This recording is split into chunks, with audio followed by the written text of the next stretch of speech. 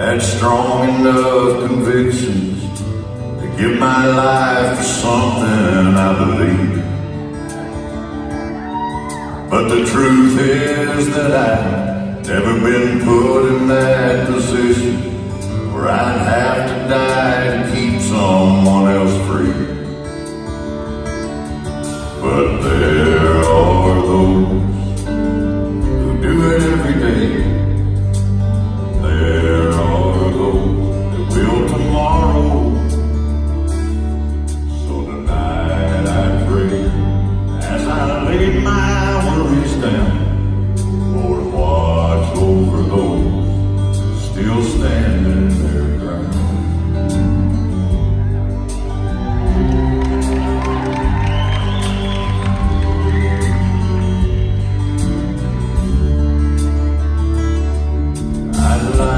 thing that I had to kind